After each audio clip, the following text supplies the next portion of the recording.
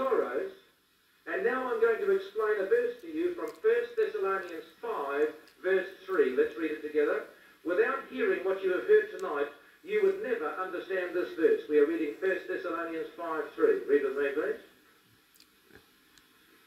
Now it says there, For when they, that's the unbelievers, say peace and safety, sudden destruction comes upon them, and that's the unbelievers, as travail and they, the unbelievers, shall not escape.